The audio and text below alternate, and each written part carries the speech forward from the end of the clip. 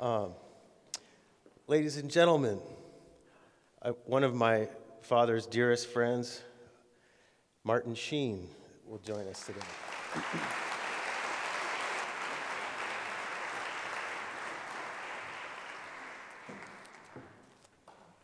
Thank you. The Irish tell the story of a man who arrives at the gates of heaven and asks to be let in. St. Peter says, Of course, just show us your scars. The man says, I have no scars. St. Peter says, What a pity. Was there nothing worth fighting for? I can't even imagine what St. Peter had to say when he saw Blase standing at the gate a few weeks ago. And like Blase, all of us are called to find something in our lives worth fighting for, something that unites the will of the Spirit with the work of the flesh, something that can lift up this nation and all its people to that place where the heart is without fear, where the head is held high and knowledge is free, where the world has not been broken up into fragments by narrow domestic walls, where words come out from the depths of truth, and tireless striving stretches its arms towards perfection, where the clear stream of reason has not lost its way into the dreary desert sands of dead habit, where the mind is led forward by thee into ever widening thought and action into that heaven of freedom, dear Father, let our country awake. Amen.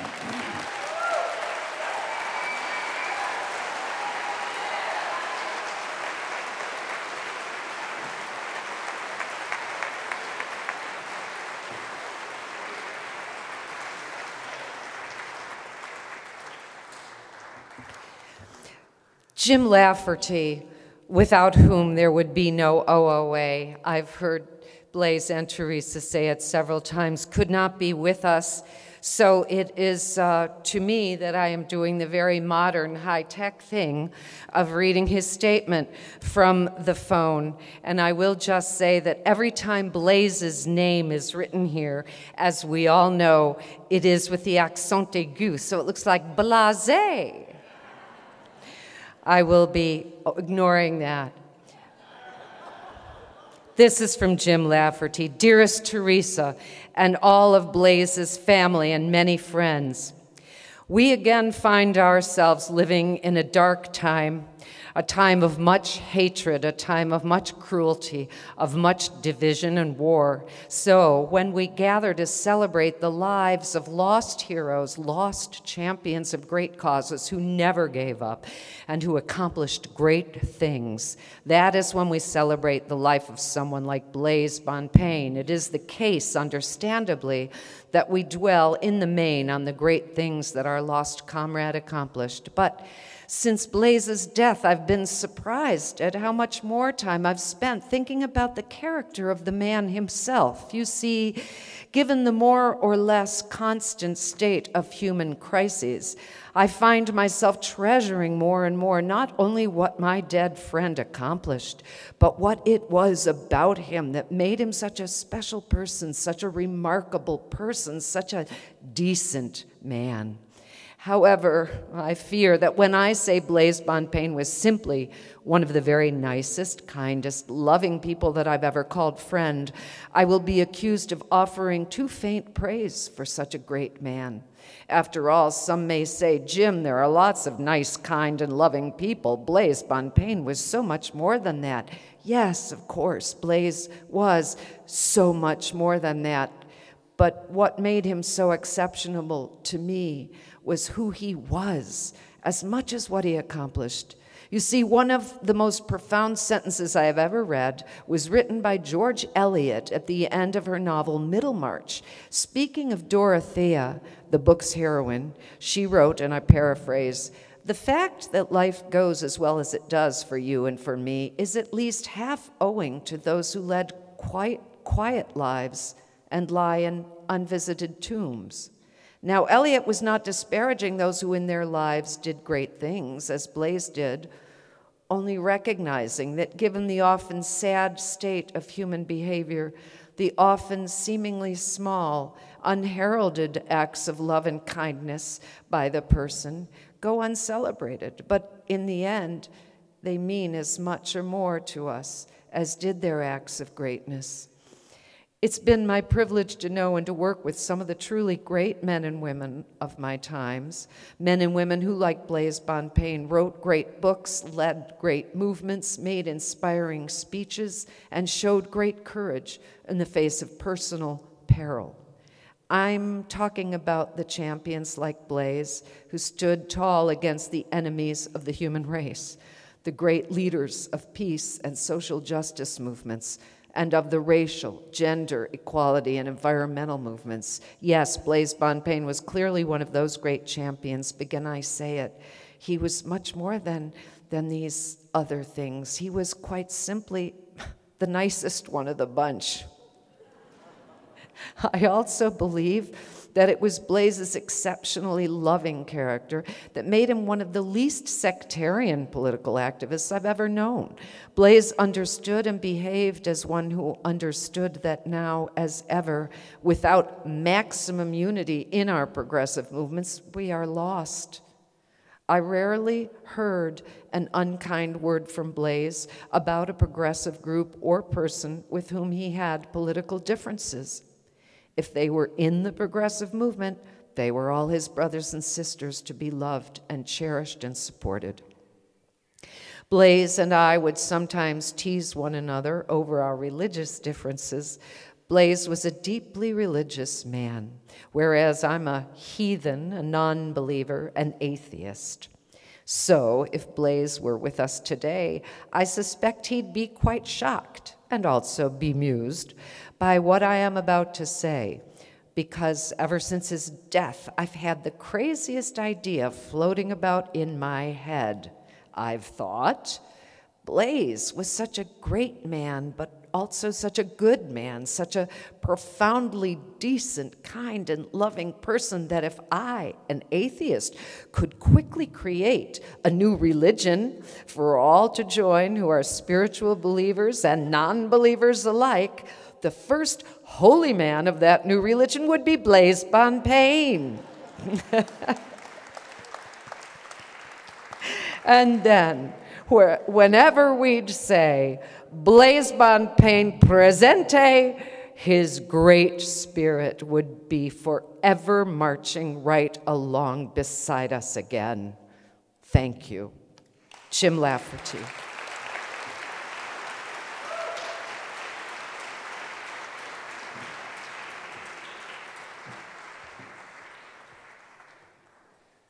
Thank you.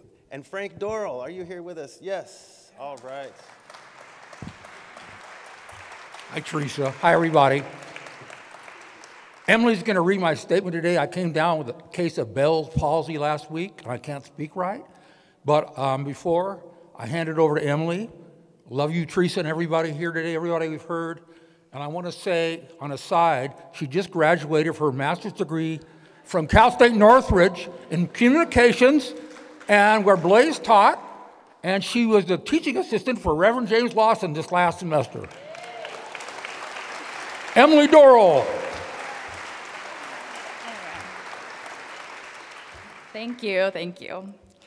Dear Theresa, Colleen, Blase Martin, family, friends, and everyone here today, I loved and respected Blase so very much. He was one of the most important truth tellers in this country, revealing the terrible horrors of the US foreign policy. At the same time, he was such a wonderful, loving, caring, kind person to everyone. I discovered KPFK around 1980, first listening to Alan Watts. Then I heard Noam Chomsky talking about US supported death squads in El Salvador. After that, I started listening to KPFK all the time. Soon, I discovered Blase live on the station. From that time on, Blase became my teacher, my mentor, my hero, and some years later, my friend, and a friend to my family. As I became more and more involved in the anti war movement, I met Blase and Theresa at many events.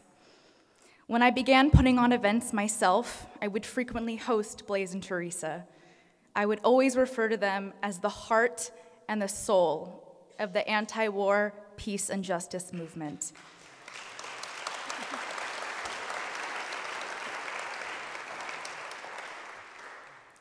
Through Blase and Theresa, I met many important anti war activists, including most of today's previous speakers and some who have since passed away, such as Don White, Howard Zinn, Jim Horwitz, Aris Anagnos, and only two weeks after Blase passed, Henry Howard. Presente Henry. Presente to them, one and all. Blase supported everything I did. He endorsed and supported the book I publish and distribute, Addicted to War.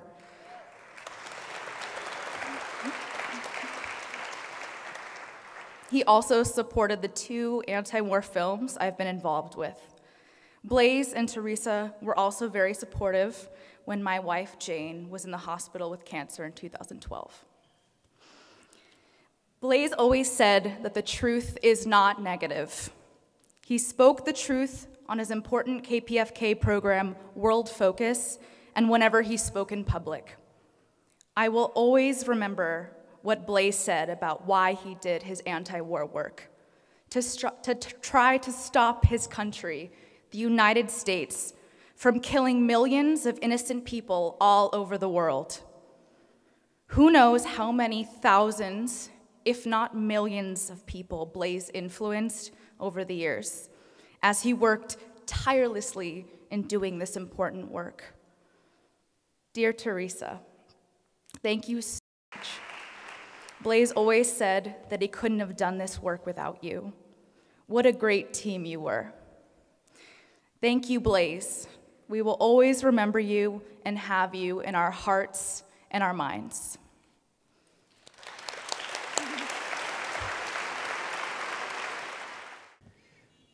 I have the pleasure of introducing someone. My father chose to put a picture of, of himself with Alex Sanchez, who is here today, and I'm so happy to have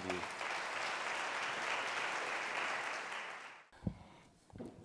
It is an honor to be here today. Um, I first met Blase in an event that I was invited to by Magdaleno Rose-Avila, who had started um, Homies Unidos in El Salvador in 1996. So I went on to this meeting uh, that uh, one of our board members and also works with, with the Office of the Americas, Patty Wagenhurst. We were in her home and, um, and without notice, Magdaleno asked me to speak. And I didn't have a choice because it was a fundraiser. And it was to raise funds for this program to help gang members reenter society in, in El Salvador. So I went and got up and spoke, and as I was speaking, I started to cry and I started to just speak truth about the pain, about being in gangs, about not finding your way. And I remember Blase came over, hugged me, Theresa hugged me. I felt, I felt it. I felt awkward in some ways because it was my first time in the house with white people right? So you can imagine all the other white people that have been in my life my probation officer, my parole officer, the judge, the prosecutor, the prison guard, right? Even the deported officer. So I had, you know, mental blocks around white people. And I didn't know Blase at the time. I didn't know what the work that, was, that, that he was doing. But I learned and I just couldn't believe that there will be people that will risk their lives to help people like me. And, and I took that on. I said, if there's, if there's other people doing work like this to help people like me, why am I not doing this for my own people? And that's how I took on to start the chapter of Homies Unidos in Los Angeles.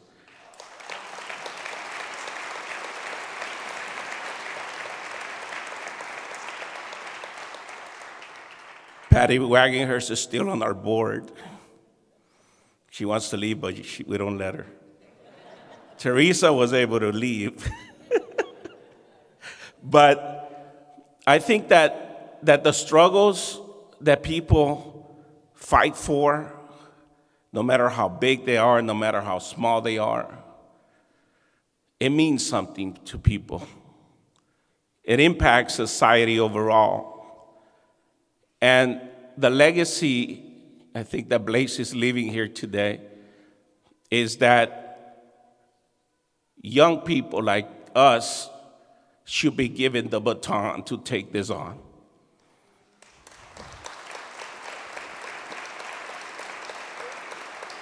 We need to take the responsibility and the leadership that they left us behind and continue the struggle for social change like I learned from Blase, not just in our community, not just in our city, not just in our county, our state, the US, but around the world. Around the world, it's not just about us, it's about all of us or none. And I think that that's the legacy that I take from Blase. I remember that after that meeting at Patty's home, you know, some of the uh, young women started doing house parties to raise funds for Homies Unidos. And one day I took a shirt and it said Homies Unidos, and they raffled my shirt off. I walked out without a shirt. But this is how amazing, amazing the Office of the Americas is, and everybody that works in there. It's so amazing, Theresa you know, it's, it's, it's this leadership that's created, you know, that, that really resonates throughout everybody else that works with it. You know, so it's been beautiful, beautiful having known all of you. And it's, it's you know, I, I go back and to say there's, there's not many white people that I met before that I've really gotten fun to me, but, you know, I've been remembering Tom Hayden today as well, you know. So my minutes are up, but but I just want to say thank you, Tom, uh, thank, thank you, uh, Blase, thank you, Theresa. Our Salvadorian people owe you a lot. And on behalf of them, I am grateful for all the work you have done for our Central American people. And please continue, continue, because I'm part of that movement. And we're going to do whatever it takes to bring peace to our countries. Thank you.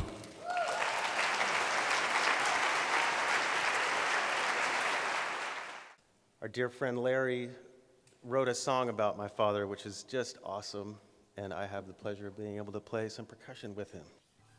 I wrote this song 10 years ago for Blase's 80th birthday, and I was inspired by the name Bonpane unusual name. I don't know a great deal about Romance languages, but I know that bon always means good, and pain is pane, and pane has got to be bread. So I called the song Good Bread, which is kind of appropriate for Blase because as a priest he offered some good bread. And then afterwards he had plenty of nourishing stuff to offer us on the radio, at demonstrations, in jail, uh, in his books. And of course, as an Italian, anytime we would have a potluck, he'd say, Well, I could bring some pasta. So here's some good bread for our good friend.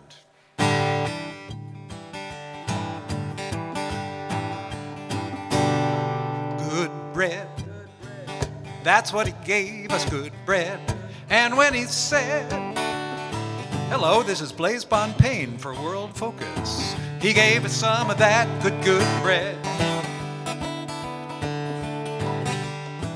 Born a Catholic, he heard the call to serve the church and the state. He did some time in the U.S. Marines and realized it wasn't too late to alter his course and dedicate himself to the Prince of Peace. Seminary ordination, the Maryknolls made him a priest. Good bread, that's what he gave us, good bread. And when he said, Do this in remembrance of me, he gave us some of that good, good bread, yeah. From Happy Jack to Huehuetenango, liberation was a cool breeze. He did the, the kind of congregation and accompanied the least of these, and like Jesus in the temple, he overturned the table. Um, let me start this again. From Happy Jack to Huehuetenango, liberation was a cool breeze. He spoke the language of the congregation and accompanied the least of these, and like Jesus in the temple, he turned the table on hypocrisy, turning a silence about the compliance of the church with the military. Good bread, that's what he gave us, good bread. And when he said, peacemaking is never passive, he gave us some of that good, good bread, yeah.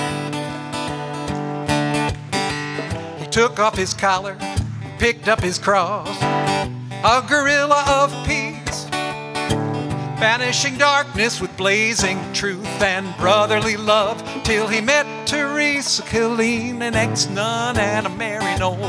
They shared politics and a bed. I don't know about the order of things, but pretty soon the two were wed. Good bread, that's what he gave us, good bread. And when he said, richer, for poorer, to love and to cherish, he gave her some of that good, good bread. Demonstrating, getting arrested, Turk speaking truth on KPFK teaching, writing, organizing, chanting, and starting OOA, confronting Wally George on TV, overturning tables and walking away. Calling soldiers to resist the war from Vietnam right down to today. Good bread, that's what he gave us, good bread. And when he said, we need a moral revolution, he gave us some of that good, good bread. We're man of honor like his father before him. The gifts he got, he gave back in turn to his children, Colleen and Blase Martin, in whose lives we can discern the vision of their grandfather, the joy and courage of Theresa and Blase, the hope and faith that sustain us in darkness, and the stuff that we're here to praise. Good bread, that's what he gave us, good bread. And when he said,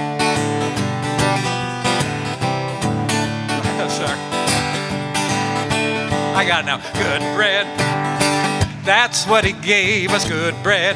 And when he said, This is Blase Bonpane with a comment.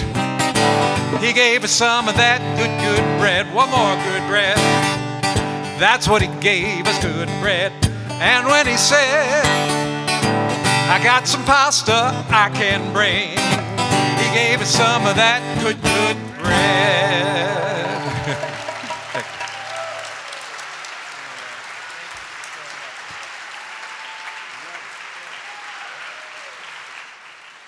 For about 15 years, we've been singing as the Bluebirds. It's just an informal singing group and playing group, and Blase loved it. That's where he brought the pasta.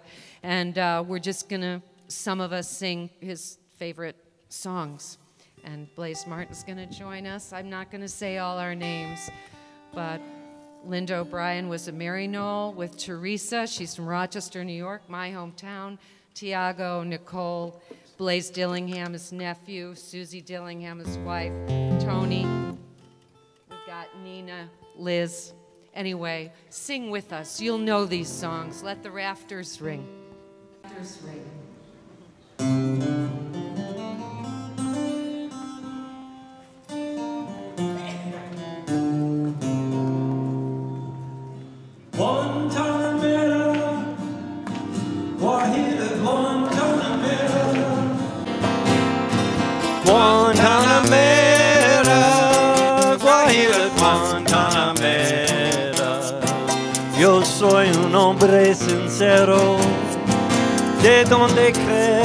la palma. Yo soy un hombre sincero, de donde crece la palma. Y antes de morir me quiero echar mis versos del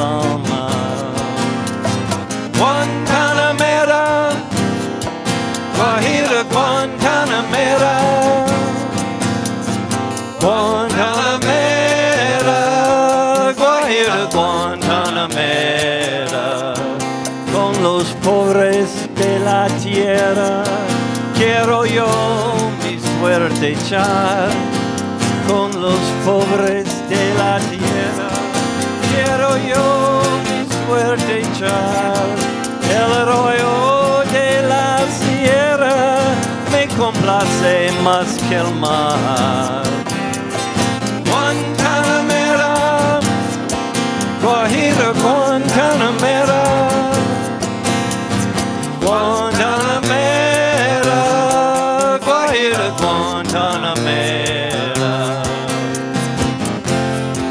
A sincere man from the land where the palms grow.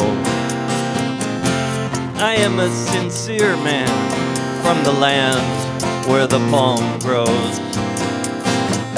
And before I die, I want to share the verses of my soul. Guantanamera, Guajira, Guantanamera. Guantanamera, Guajira, Guantanamera. With the poor of the earth, I want to throw in my lot. With the poor people of the earth, I want to throw in my lot. The streams of the mountains please me more than the sea. Guantanamera,